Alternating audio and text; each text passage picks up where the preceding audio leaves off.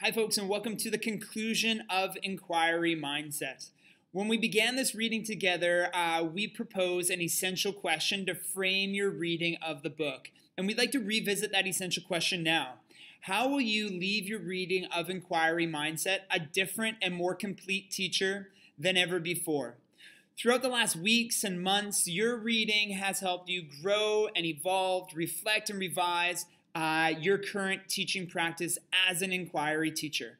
Whether or not you're reading in isolation using the companion resource to ask questions of a unit of study, uh, implement your unit of study, and reflect and revise to hone the inquiry teaching practice that you were seeking out.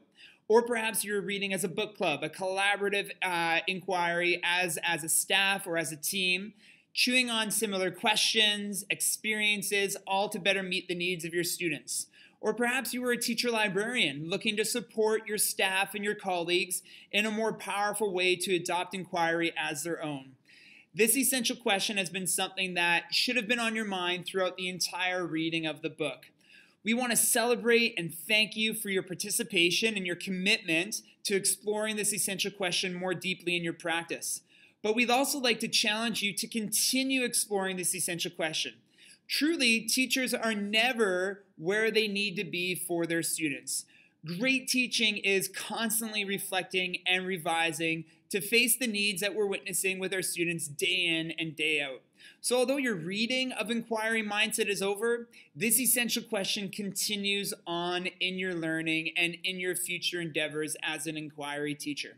Rebecca and I ask you to please reach out to us uh, directly. So whether or not you want to send a, set up a Google Hangout, either one-on-one or with your staff and with your team in mind, to continue this learning together, or perhaps you'd like to explore our online spaces and explore our weekly blogs and resources, sketch notes, webinars, and podcasts that we continue to publish and share to keep the learning real.